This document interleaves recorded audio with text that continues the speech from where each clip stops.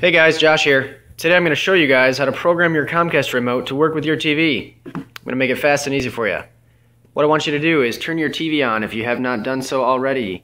You can use the remote that came with your TV or you can simply walk up to it and press the power button. Either way will work. Once you have done that, come to the top of your Comcast remote here. You'll see five buttons across the top. I want you to go ahead and hit that TV button up there once and then hold that setup button for a few seconds until the TV button flashes red twice, like that. From there, you're going to come to the bottom of your remote, and I want you to press these buttons for me. Go ahead and press 9, 9, 1. Wait a second. Press 1 again. Wait a second, and you'll see that TV button flash twice.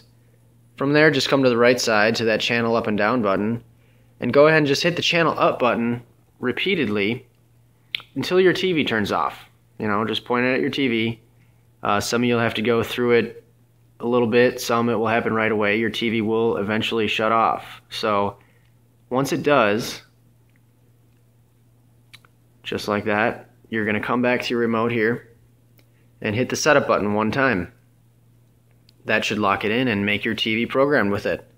So from there, I want you to go ahead and test it. Let's press the power button on the Comcast remote now and hopefully your TV will turn on, which mine did. If yours did, then you programmed your remote. Congratulations. Very proud of you. If it did not work, I'm very sorry. you might have an older Comcast remote, which would require you to do something a little bit different. When you're in programming, instead of hitting that channel up button, you'll need to come up to the top here and press the TV and power buttons back and forth until your TV turns off that way. And once it does, you know, hit that setup button the same way and test it. Um, otherwise, if your TV turned off with either one of those ways, but then did not turn back on with the power button, go through the programming setup again, and instead of hitting the channel up button, hit the channel down button once or twice. I've seen people pass up the code, and instead of going the channel up button again, you'll be going through every single code all over. Um, sometimes it's easier just to go down.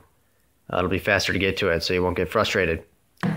So I hope that worked for you guys. Um, if you have any other questions or want to go online and see it done a different way, you can actually go to http colon backslash backslash customer.comcast.com backslash remotes, and you can put in your TV model number and all that stuff and program your remote that way.